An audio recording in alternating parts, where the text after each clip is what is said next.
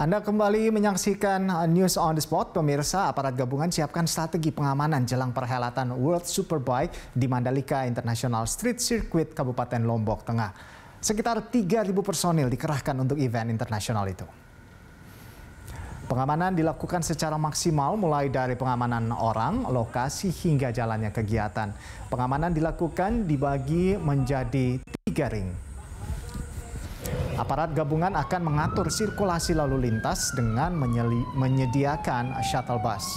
Protokol kesehatan juga menjadi salah satu perhatian agar tidak ada klaster baru pada perhelatan World Superbike.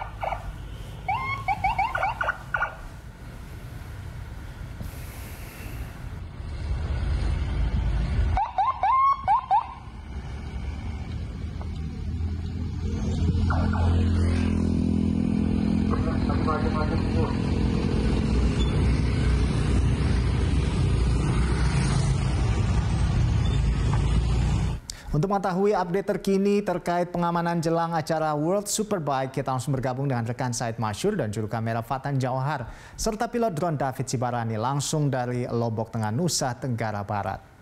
Iya, Said. Jadi seperti apa? Bisa Anda jelaskan kembali terkait dengan strategi pengamanan di sana? Baik, Rolando, sejak dua bulan terakhir ini, kepolisian daerah Nusa Tenggara Barat sudah melakukan sejumlah persiapan menjelang pelaksanaan event World Superbike 2021. Dan sejak 12 November 2021 kemarin, sebanyak 3.276 personil yang diturunkan oleh Polda NTB untuk kemudian melakukan penjagaan selama 1 kali 24 jam, tentu saja dengan mekanisme shifting. Dan persiapan ini sudah jauh-jauh hari Rolando dilakukan, mulai dari fokus grab discussion, kemudian juga juga dilakukan simulasi hingga hari ini pengamanan masih sudah terus berlangsung. Kemudian dari sisi pengamanan ini Rolando yang berjalan sampai dengan saat ini ada tiga titik utama atau fokus utama yang saat ini sedang selalu dijaga oleh pihak kepolisian. Yang pertama adalah tim patroli reaksi cepat untuk kemudian mengurai kemacetan di sekitar lokasi kawasan sirkuit Mandalika. Ini untuk mengantisipasi apabila terjadi kemacetan uh, nantinya apabila pelaksanaan World Superbike pada 19 November hingga 21 November 2021 nantinya akan ada tim reaksi cepat yang akan kemudian mengurai kemacetan. Lalu tim kedua yang akan diturunkan yaitu tim uh, Show of Force yang akan melakukan patroli keliling dengan pasukan bersenjata lengkap untuk memastikan setiap titik-titik yang berada di sekitar sirkuit Mandalika ini aman tanpa bebas, maksud kami bebas dari gangguan apa pun. Yang selanjutnya adalah yang ketiga, Rolando, tim patroli dari uh, segi protokol kesehatan menggandeng dinas kesehatan setempat. Ini nanti ada tim patroli yang akan berkeliling untuk menjamin tidak ada pelanggaran protokol kesehatan seperti dengan uh, kerumunan dan juga akan melakukan pembagian masker. Ada satu juta masker yang akan dibagikan yang dibawa langsung dari BNPB pusat. Untuk teknis pengamanan sendiri, Rolando, apabila event ini nanti mulai pada 19 November 2021, pihak kepolisian kepolisian nantinya akan melakukan penyekatan di pintu masuk menuju kawasan Mandalika Sirkuit.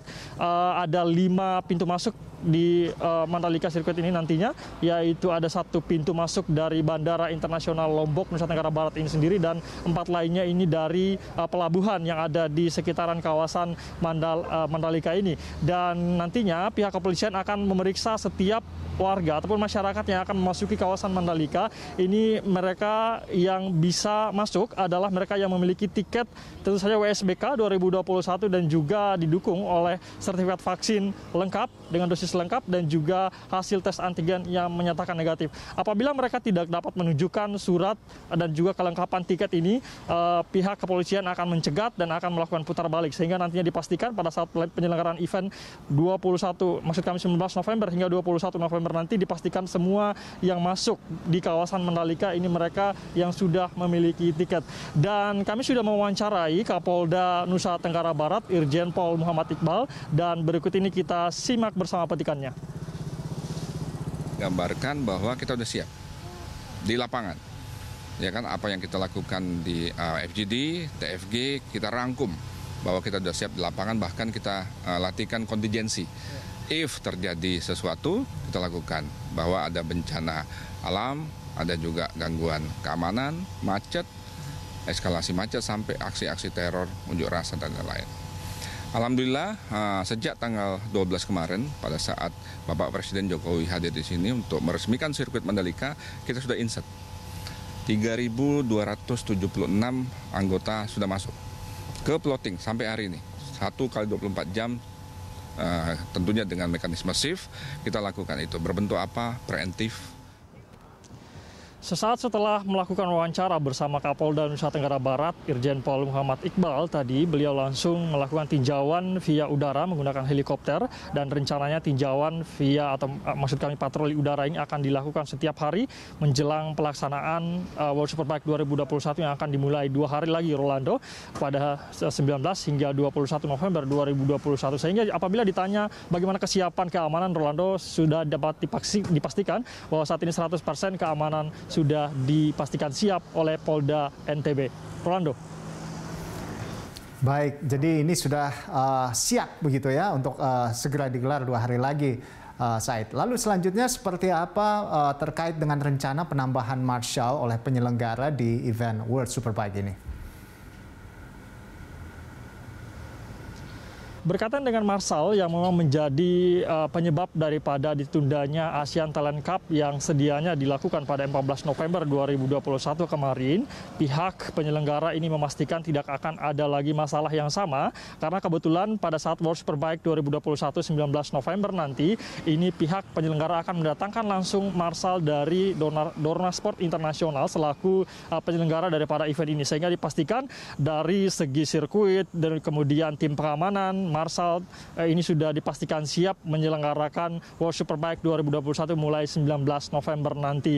Berkaitan dengan persiapan yang lainnya Rolando dari segi logistik ini juga sudah datang secara berangsur sejak 9, November kemarin mulai dari uh, superpart motor lalu kemudian alat telekomunikasi ini sudah sudah ada semua di sirkuit Mandalika. Lalu kemudian untuk kontingen sendiri ini sebetulnya sudah mulai datang sejak kemarin Rolando dan hari ini akan datang lagi secara berangsur. Setidaknya kami mendapat informasi informasi ada sekitar 700 orang yang akan datang dalam kontingen ini, baik terdiri dari tim ofisial maupun juga uh, pembalap itu sendiri. Sehingga uh, dari uh, ITDC juga selaku pengembang kawasan Mandalika ini memastikan segala persiapan ini sudah benar-benar siap untuk menggelar World Superbike 2021 19 November nanti.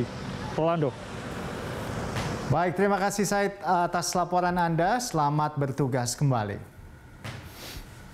Pemirsa demikian tadi laporan dari rekan Said Masyur dan juru kamera Fatan Jauhar serta pilot drone David Sirbarani langsung dari sirkuit Mandalika, Nusa Tenggara Barat.